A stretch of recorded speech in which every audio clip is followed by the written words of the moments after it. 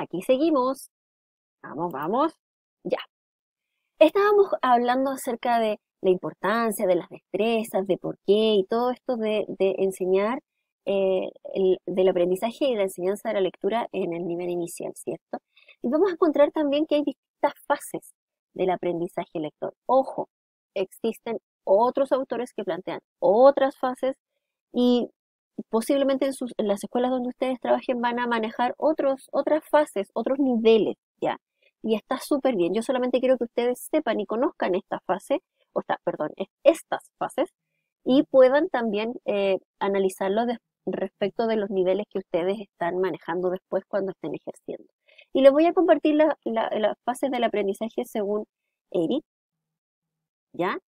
Que nos habla de la fase prealfabética, que es cuando los niños conocen las palabras escritas a través de ciertas características, las reconocen, como, como que las, las adivinan un poco, ¿ya? Y la, frase, la fase alfabética parcial es que ya reconocen la mayor cantidad de signos, ya pueden ejercer escritura, o sea, perdón, lectura silábica de las palabras más simples. Mientras que en la fase alfabética completa ya reconocen palabras completas, ya aunque no las puedan deletrear correctamente. Sin embargo, en la última fase, la de consolidación alfabética, ya aquí pueden incluso decodificar palabras de uso poco frecuente o que ellos hayan leído por primera vez, ¿ya? Mientras que también debemos tener en consideración, no olvidar, porque siempre lo vamos a trabajar, algunos conceptos, como por ejemplo la conciencia fonológica, que ustedes aman, que corre por sus venas, ¿no? Eh, que, ojo, recuerden lo que conversábamos en la guía anterior, también puede ser nos puede servir de predictor, pero también puede ser evaluado, ¿ya? Y tenemos los componentes básicos que son los mismos que revisamos en, la guía anterior, el factor fonema, el sílaba, el factor rima, ¿cierto? Y esto que es el procesamiento fonológico, que es el progresivo dominio del lenguaje, ¿ya? Particularmente comenzamos con el lenguaje oral porque es el que dominan los estudiantes, pero luego lo vamos traspasando al lenguaje escrito, al manejo con, a la relación con las letras, la relación fonema-grafema que más adelante vamos a profundizar más, ¿ya? Y que nos permite segmentar. ¿Se acuerdan este cuadrito del, del primero lee, donde aparece conciencia de palabra, la silábica y la fonémica y algunas actividades y cómo son ejemplos de, de esa, de, de jugar con la eliminación, la sustitución, el intercambio. Bueno, eso. El que puedan lograr hacer esas cosas con las distintas, los distintos factores es procesamiento fonológico, es conciencia fonológica, es dominio en la conciencia fonológica, ¿ya? Entonces, además también encontramos la conciencia segmental que tiene relación más que nada con dividir, con separar, y ahí extraer y manejar, ¿ya? Mientras que eh, sabemos que el lenguaje preescolar es un predictor, es un predictor también de la lectura temprana. Y aquí tenemos algunos más para hacer análisis. Eh, pero lo más importante para nosotros es el procesamiento fonológico y la comprensión del dominio alfabético. El principio alfabético es esta representación del lenguaje en toda su complejidad a través de la combinación de signos gráficos. Los signos gráficos son las letras. Ay, perdón. Las letras. El alfabeto. Ya. Y la conciencia metalingüística, que es cuando podemos reflexionar sobre las características de nuestra lengua, por ejemplo, la mayúscula, los puntos, el orden, que ciertas palabras se escriban con mayúsculas, eso también es conciencia metalingüística y lo podemos hacer desde preescolar, ¿ya? Y aquí vamos a este maravilloso, esta maravillosa relación del fonema y del grafema, que es lo que nosotros debemos empezar a desarrollar para trabajar conciencia fonológica también. Eh, empezamos a hacer una relación entre lo que es la letra, el dibujo de la letra, ¿cierto? Dijimos letra, el nombre de la letra, el sonido y, o el grafema, fonema y el grafema o el dibujito, ¿ya? Eh, tenemos que empezar evidentemente por las letras que son más, para poder desarrollar la relación fonema-grafema tenemos que empezar por las letras que son más simples, en este caso las vocales.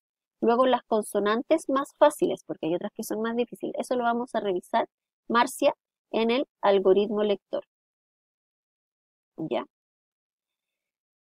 Para que puedan hacer esta relación entre el sonido y el dibujito, el fonema y el grafema, es necesario que ellos eh, comprendan cómo se pueden, que se pueden combinar, que se pueden cambiar. Estamos trabajando también con ciencia fonológica.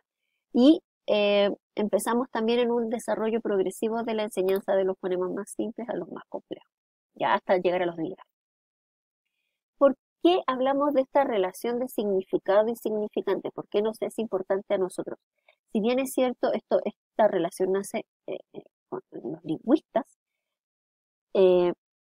entendemos que el signo es una unidad lingüística que tiene dos caras. Por un lado, el significante, que es lo que podemos percibir por los sentidos, lo que se oye cuando hablamos, oyen cuando hablamos, y, lo significa, y el significado es lo inmaterial, es la idea que se nos viene a la mente, cuando hablamos de la mesa. Yo digo, mm, esa mesa, y la Sandra se imagina una mesa redondita, el Ángelo se imagina una mesa cuadrada, grande, la Sandra se imagina una mesa eh, de vidrio, por ejemplo, y así cada uno se va a imaginar, de acuerdo a lo que entiende, de acuerdo a lo que vive, de acuerdo a su contexto, qué tipo de material es. Y nosotros también tenemos que conocer eso. ¿Qué es lo que se imagina nuestros estudiantes cuando hablamos de? Porque para allá vamos. ¿Ya? Y bueno, ya dijimos que la interpretación de los signos escritos es lo que es en el fondo la lectura. Este proceso de decodificación, que es un proceso gradual, que lentamente va, nos va a permitir dominar textos cada vez más complejos, así como palabras cada vez más complejas, los textos también, ¿ya? Y, eh, bueno, esto ya lo vimos también, qué habilidades deben tener los niños antes de iniciar la lectura, esto lo revisamos en la guía 4 de conciencia fonológica. Eh, vimos también las dificultades para aprender la lectura inicial. Vamos, a pesar de todos los esfuerzos que nosotros hagamos, de todas las estrategias que podamos utilizar, también vamos a encontrar algunas dificultades con los niños que tienen alguna dificultad de aprendizaje, algún trastorno del lenguaje, transitorio permanente, cualquier cosa. Entonces, además tenemos que tener eso en consideración, ¿ya? Eh, sin embargo, también en los niños que no tengan declarado nada tan, eh, tan con tratamiento, eh, podemos encontrar niños que tengan dificultades para rotar las letras, ¿cierto? hablábamos de esto, eh, que puedan tener dificultades de memoria, ¿ya? Entonces les cuesta relacionar el fonema con el grafema porque se les olvida de alguna manera, ¿ya? Porque, y para eso tenemos que trabajar el procesamiento fonológico, porque ahí es donde van a tener dificultades, ¿ya? Y por eso necesitamos que reconozcan palabras y que puedan hacer un procesamiento visual ortográfico de estas palabras, ¿ya? Aquí de nuevo están los principios de Caballero de Jaime, no lo vamos a ver porque ya lo vimos, ¿ya? Y vamos a conocer unas poquitas estrategias de lectura para trabajar en el nivel de primero básico que están relacionadas con los momentos de la lectura, ¿ya?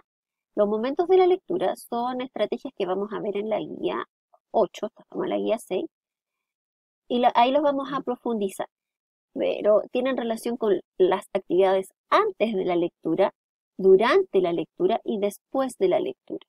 Y algunas estrategias para trabajar esto las podemos encontrar acá. Utilizar los conocimientos previos de los estudiantes para poder hacer que tengan un nexo con el texto. Y si no tienen ellos conocimientos previos, lograr que con los de sus compañeros puedan hacerse una idea sobre lo que estamos hablando.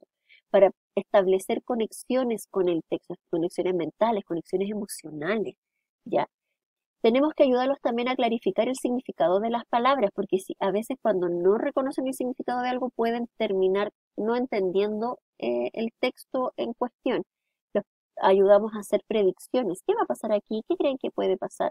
Inferencias. ¿Por qué pasó esto? Permitirles parafrasear el texto, que ellos lo cuenten con sus propias palabras y ojalá utilizando vocabulario aprendido. Y de esa manera también ayudarlos a visualizar ciertas situaciones, actitudes, a entender mejor a los personajes.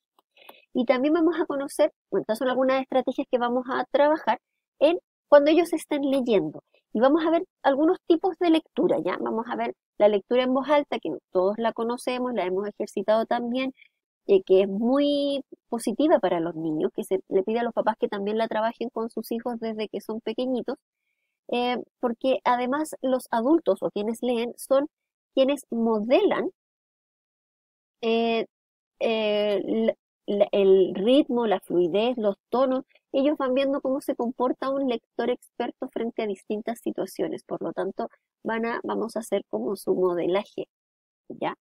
Eh, ellos la idea es que sea una experiencia para disfrutar la lectura, ya lo hemos conversado antes, porque así vamos eh, acercándolos de una manera amable, ¿cierto? Ojo, esto no es llegar y leer, ya, yo voy a leer hoy día esto porque se me ocurrió. No, el profesor debe seleccionar el texto, debe conocerlo, debe diseñar las estrategias para acercar a los estudiantes a los textos, ¿ya? Otro tipo de lectura es la lectura en voz alta grupal. Y aquí tenemos esta donde empiezan eh, todos juntos a leer, pero también tenemos la enseguidilla, esta en que ya Ángelo termina aquí en el punto, ya sigue la Sandra, sigue, y que yo les comentaba que puede ser a veces un poco difícil para los estudiantes porque a algunos les genera un poco de temor y puede tener problemas con su autoestima porque se pueden burlar de ellos por no tener la fluidez suficiente. Entonces ahí hay que jugar un poco con conocer a los estudiantes que tal vez se ofrezcan a leer y puedan, puedan trabajar eh, con todo el resto del grupo. Y esta estrategia, la lectura compartida, les recomiendo que vean el video en YouTube eh, para que puedan conocerlo, verlo con mucha más calma de cómo lo vimos en clase. Es una de las grandes estrategias para enseñar eh, a leer. Y no solamente a leer, porque también nos permite trabajar, por ejemplo, reglas de acentuación, puntuación, las reglas de ortografía, la gramática, el análisis del tipo de texto, el análisis de la estructura del texto, entonces, véanlo, analicen el, texto en base a esto que les presento acá para que puedan eh, analizar en profundidad cómo es interesante esta estrategia y cómo se puede utilizar desde el preescolar, como en el video, hasta segundo básico por lo menos. ¿ya? El otro tipo de lectura es la lectura guiada, en la cual los estudiantes eh, tienen, leen en grupos más pequeños y pueden eh, el profesor ayudarlos a leer también y a a ir monitoreando cómo lo están haciendo. Ya también hay un video acá para que lo puedan ver en YouTube. Y la lectura independiente, que esa ya es de cuando ellos pueden hacerlo solo. Eh, ojo, no significa necesariamente que lo hagan bien, pero sí es importante que logren en algunos momentos tener estos espacios de lectura independiente, ¿ya? y la lectura silenciosa sostenida que conversábamos en clases, que la idea original era muy buena, pero como se fue deformando un poco la, estrategia con el paso del tiempo y la expansión a lo largo de todo Chile, que ya perdió el hecho de, el sentido de ser un momento de disfrute de la lectura y terminó siendo un momento de obligación a leer, ¿ya? Y quería que analizáramos esto eh, porque eh, no sé si vamos a alcanzar en este video, creo que no. Voy a dejarlo hasta acá para que sigamos en el otro video viendo esto, porque esto es un poquito más intenso. Y ya nos queda poquito, así que chiquillos, lo siento, hice tres videos con él. Pero espero que hayan sido un poco más clarificadores respecto de los contenidos que estamos pasando, ¿ya? Nos vemos en el siguiente video.